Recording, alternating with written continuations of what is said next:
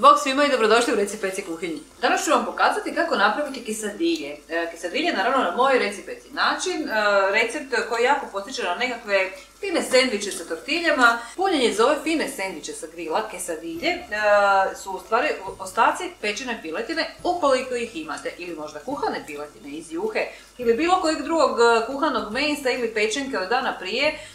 Slobodno ih možete ubaciti ovdje, a ako nemate to, onda jednostavno samo prepršite na brzinu pečenu piletinu, prsa i to je to, to će nam biti punjenje. E, treba nam nešto malo e, mladog luka, ako nemate mladog luka može ići i obični luk, a može ići u biti bilo koja salata e, imate, znači paprika nekakva, crvena, zelena, komadići svježe salate, nekakve kovrčave, kristalke, puterice, whatever, znači ono što imate u hladnjaku, to ćete iskoristiti za ovaj recept.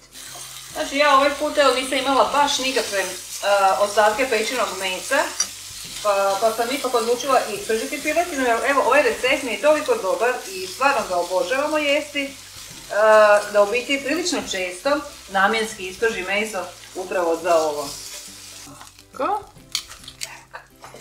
E, znači, ukoliko e, pržite piletinu za ovaj recept kao i ja, e, onda ćete već imati znači, tavicu, fino, fino ovog stoka od pečenja te piletine, pa ćemo mi sad tu tavu iskoristiti dalje za ono što nam treba za punjenje, a to je omlet.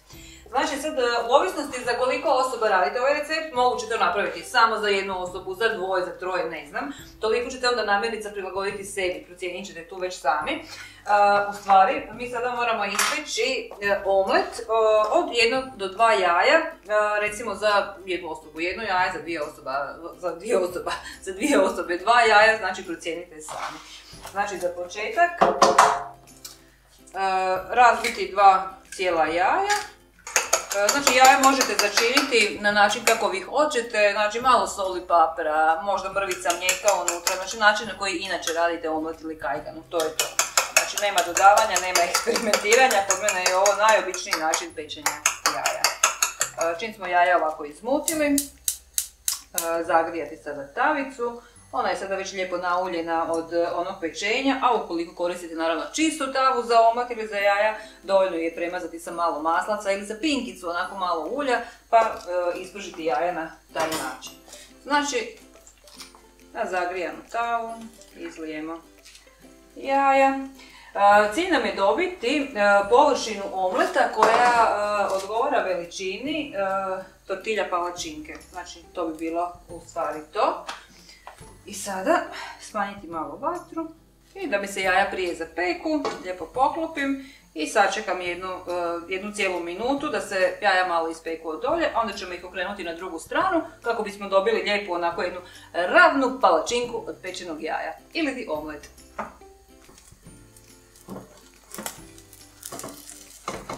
Znači, svaki put kad radim ovako malo deblji omlet, ja ga volim evo ispeći na ovaj način, znači sa jednom špatulicom, e, malo si podignem cijelu površinu i pustim da mi ova jaja od gore, koja su još sirova, lijepo onako dođu na dno i onda dobijem onako nekakav slojeviti čudni omlet i e, meni to bude ok.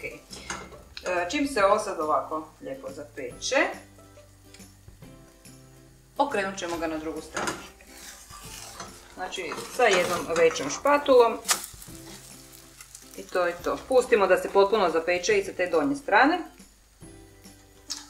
čim je omlet pečen, e, vadimo ga na tanjur ili na pladanj, tavicu odlažemo. E, I sad ako budete radili ovo za više osoba, znači onda ćete ispeći prvo omlet za sve porcije, pa ćete onda tek ići slagati tortilje. Ako ne, e, to je to. Ok, sada moramo narezati mladi lukić na kolutiće. A kada smo narezali luk, e, idemo usitniti i ovo meso. Znači, meso moramo usitniti, znači na nekakve male trakice, kako god. Ako koristite e, meso koje je recimo prethodno kuhano, koje vam je ostalo od ručka od prije par dana, Kuhano meso je još mekanije možda, onda ćete ga moći i natrgati samo uz pomoću dvije vilice. Bitno je da nam meso bude sitno zato što uh, hoćemo napraviti onako nepredebele sendviče. Evo vidjet ćete zašto uskoro.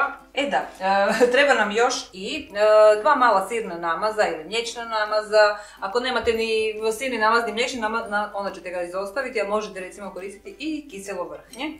Znači to i malo majoneze. Uzmemo sada jednu palačinka tortilju. Za početak polovicu namažemo sa žličicom sirnog namaza. Mažemo samo onu polovicu na koju ćemo biti slagati kompletni ovaj nadjev. Sada dodamo malo e, sjeckanog vlasa. Vlasac može biti svježi, može biti i sušeni. E, omot koji smo ispekli prerežemo na pola kako bismo dobili potpuno dvije iste polovice. I sada polovicu omleta stavljamo na ovu polovicu tortilje. Preko omleta stavljamo meso, preko mesa naribani sir, sir može biti bilo koji, sir, trapist, gauda, mozzarella, ono što imate u hladnjaku i doma, to će biti sasvim ok. Uh, šta ćemo, šta ćemo? E, malo majoneze smo zaboravili staviti. Majonezom obično, evo, ili pokapamo od gore ili premažemo ovaj uh, gornji dio tortilje. I šećer za kraj, mladi luk. E, u ovom receptu, kažem, odlično e, paše bilo koje povrće, i sjeckane paprike svježe, e, i rajčica ako imate, znači iskoristite apsolutno sezonu u kojoj radite ovaj recept i prilagodite tome.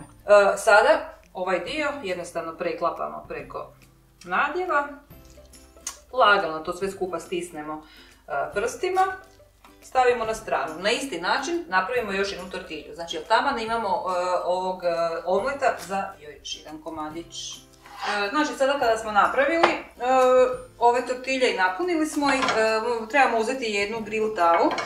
Grill tava je fora pogotovo sa ovim, sa ovim, sa ovom rešetkicom, sa rebarcima sam skoro rekla, sa rebarcima mi je super e, čisto zbog efekta, onako kad se lijepo zapeče, vidjet ćete kad bude gotovo kako to super izgleda, ali ako nemate grill tavu, sasvim će dobro poslužiti bilo kakva obična tava u kojoj ćemo sad ove naše tortilje ovako napunjene lijepo zapeći sa jedne i sa druge strane. E, znači grill tavu e, namazati sa malo maslaca, Moglo bi ići naravno i bez maslaca, jer ove tave su napravljene tako da se ništa ne ljepi za njih. Ali hm, ja volim staviti maslac čisto zbog okusa, ljepši i ukusniji ovi e, tortilja, kesadilja, sendviči ispadne. Čim se tavica zagrijala, znači uzmemo ove složene tortilje i lijepo ih složimo. Lagano pritisnuti dlanovima. I trebamo sad samo sačekati par minuta da se ispeku sa jedne strane pa ih okrećemo na drugu.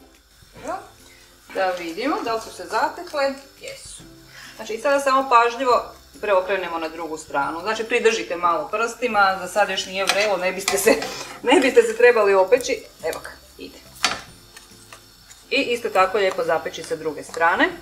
Mm, ovo već sad dobro miriši od ovog maslaca što se ovako lijepo zapekao, a i onaj sir koji smo stavili unutra, i sirni nama sa vlasem, sve se to fino onako sad počelo topiti u kombinaciji sa mesom, sa lukom i sa e, ovim omletom. Evo vidite i sami kako je počelo teći lijepo sve iznutra. Znači malo i pritisnemo, u biti i pritisnemo zato da bi se brže zapeklo i da bi se taj nadjev unutra lijepo onako uh, uhvatio. Čim su one gotove, Možemo ih vaditi na stranu, znači ovako. E, Kisadilje se najčešće poslužuju kao finger food jelo na nekakvim partijima, e, na druženjima, kako god. Mi ih jako često imamo baš za ručak, e, nekad čak i za večeru. I odlične su, znači mogu se vidjeli ste sami napuniti sa čim god. Poslužuju se najčešće rezane na trokutiće, na nekakve trokutaste oblike. Evo ovako. Bit je znači da dobijemo oblik koji se vrlo lako lijepo može uzeti u ruku. Puno komada koji se mogu nasložiti onda na pladan za posluživanje i na taj način poslužiti. Kako fino kanicka. To je to. I evo ga, naše kisadilje su gotove. Pokazat ću vam kako iznutra izgleda nadjev. Znači, prefino. Sir se savršeno lijepo otopio. I ovo je spremno za jelo. Jako brzo, jako ekonomično, možete iskoristiti baš sve što vam padne na pamet i sve ono što imate u hladnjaku, a ne znate šta biste s tim, ovo je jako dobar način. E, se sa začinima, možete i zaljutiti onako sa čilijem, možete dodati ono što najviše volite. Probajte napraviti što prije, pišite mi u komentare kako vam se svidjelo i naravno pretplatite se na Recipeci YouTube kanal ako to još niste napravili do sada. Bog ljudi, vidimo se. Mm-hmm.